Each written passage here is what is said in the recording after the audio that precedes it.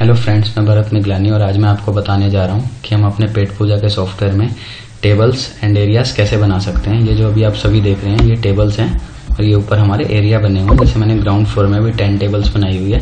तो आइए देखते हैं हम ये टेबल्स एंड एरियाज़ कैसे क्रिएट कर सकते हैं। इसके लिए हम सबसे पहले यहाँ पे हमें अपने ओनर डैशबोर्ड पे जाना होगा। ओनर डैशबोर्ड पे जाने के बाद हमें यहाँ पे इन तीन लाइन्स पे क्लिक करना है।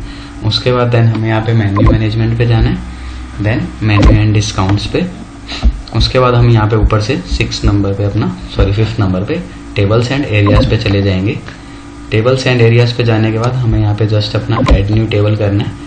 एड न्यू टेबल के बाद हमें यहाँ पे अपना जो भी टेबल का नाम रखना है, हमें यहाँ पे उसको क्लिक करते जाना है। जैसे मुझे यहाँ पे टेबल नेम टेबल्स नेम चाहिए डी वन उसके बाद मैं यहाँ पे कोमा डालूँगा, फिर डी थ्री डी टू फिर then comma then D three इस तरह से कोमा कोमा करके आपको अपनी जितनी भी यहाँ पे टेबल्स बनानी है आप वो बना सकते हैं। यहाँ पे नीचे लिखा हुआ है, अगर आपको मल्टीपल टेबल्स बनानी है तो आपको कोमा का यूज़ कर सकते हो।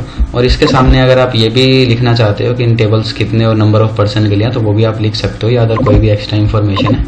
अदरवाइज़ हम यहाँ पे जस्ट टेबल का नाम ये डाल के सीरीज़ डाल के, अगर मुझे इसके अलावा किसी और सीक्वेंस में भी चाहिए लाइक मुझे यहाँ पे अपनी चाहिए एच में भी मुझे टेबल चाहिए एंड एच में भी तो मैं वो भी यहाँ पे बना सकता हूँ जस्ट सेव चेंजेस तो दोस्तों इस तरह से आप अपनी एक एक करके टेबल बना सकते हैं। और एक तरीका मैं अभी आपको यहाँ पे और दिखा देता हूँ एड न्यू टेबल करके।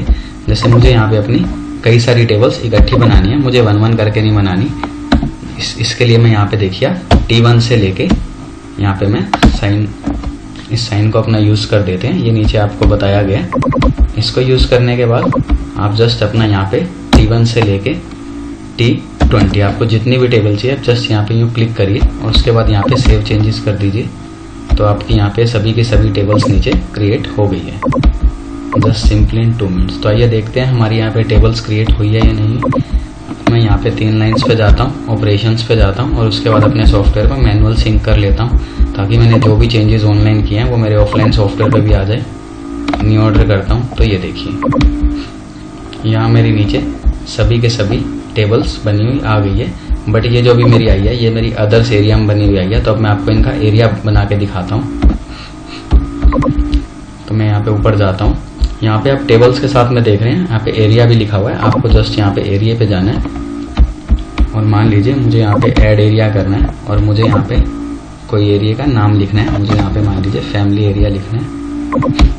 तो मैं जस्ट यहाँ पे जाता हूँ। यहाँ पे जाने के बाद मुझे जोन जोन सी भी टेबल अपने फैमिली एरिया में असाइन करने हैं उनको यहाँ पे सिलेक्ट कर लूँगा। मान लीजिए मुझे यहाँ पे टी वन से लेके जितनी भी मेरी टेबल्स हैं इनको यहाँ पे फैमिली एरिया में असाइन कर रहा हूँ टी वाली सभी के सभी।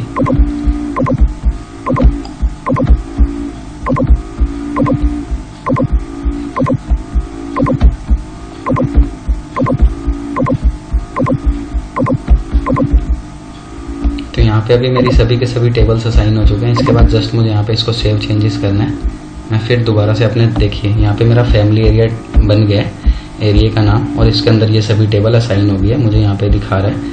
इसके बाद जस्ट मुझे अपने अपने सॉफ्टवेयर पे जाना है, और फिर ऑपरेशन पे जाके देन अगेन मैं इसको मैनुअल सिंक कर रहा हूँ। तो अभी हम यहाँ पे देख पाएँगे, जो मेरा यहाँ पे एरिया है, वो फैमिली एरिया में मेरी सभी के सभी टेबल आ गई है। तो इस तरह से दोस्तों आप भी अपने अपने रेस्टोरेंट के लिए खुद ही एरियाज़ एंड टेबल्स क्रिएट कर सकते हैं। ओके